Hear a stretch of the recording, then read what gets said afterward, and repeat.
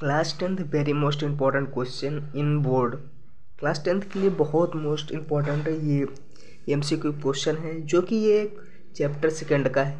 ये आपको एग्ज़ाम में आ सकता है, बहुत ज़्यादा मोस्ट इंपॉर्टेंट है। तो इसका फ़र्स्ट क्वेश्चन है which acid is present in tomato क्या है?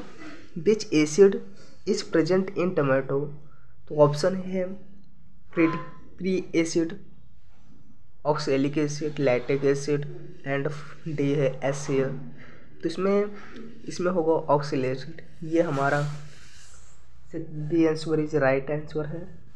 तो आइए क्वेश्चन सेकंड देखते हैं. Which of the followings is neutral salt option A है.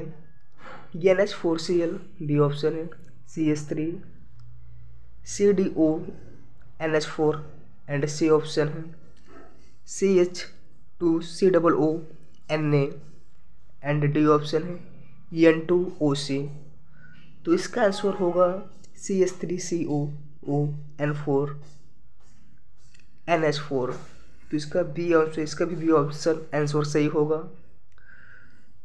तो ये समझ लीजिए, बहुत ज़्यादा इम्पोर्टेंट है आप लोग को सिलेबस के लिए। तो क्वेश्चन थर्ड देखते हैं। Lactic acid is the present in lactic acid किसमें प्रेजेंट होता है? लैटिक एसिड जो होता है हमारा किसमें प्रेजेंट होता है? ये ऑप्शन ए है ऑरेंज बी ऑप्शन है टी सी ऑप्शन है विनेगर डी ऑप्शन है कर्ड ऑरेंज में होता है या टी में होता है, विनेगर में होता है या कर्ड में किसमें होता है, जो हमारा लैटिक एसिड किसमें प्रेजेंट होता है? तो लैटिक एसिड हमारा जो प्रेजेंट होता है, सबसे ज़्यादा होता है किसमें? कर्ड में। कर्ड में ये हमारा curd D option is right answer तो आते हैं हम क्वेश्चन फोर की ओर। At what temperature is gypsum heated to form the plaster of Paris I repeat my question एक बार फिर से क्वेश्चन रिपीट करते हैं। At what temperature at what temperature is gypsum heated to form plaster of Paris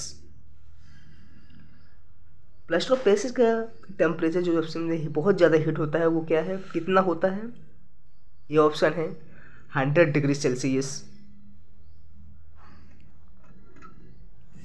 ये option है जो कितना है? Hundred degree Celsius B option है। Forty degree Celsius C option है seventy degree Celsius and D option है thirty five degree Celsius तो इसमें से कौन ऑप्शन होगा? हंड्रेड डिग्री सेल्सियस हो गया फोर्टी डिग्री सेल्सियस हो गया सेवेंटी डिग्री सेल्सियस या थर्टी फाइव डिग्री सेल्सियस होगा? तो जो टेम्परेचर है हमारे जेप्सिन का प्लास्टर ऑफ़ पेरिस का, वो होगा थर्टी फाइव डिग्री सेल्सियस तो क्वेश्चन फिफ्थ देखते हैं हम, क्या है?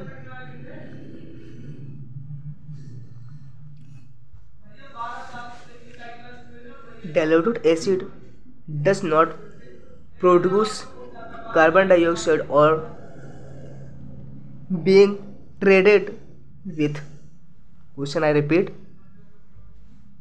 dilute acid does not produce carbon dioxide on being treated with तो ए ऑप्शन होगा marble B lime C stone and D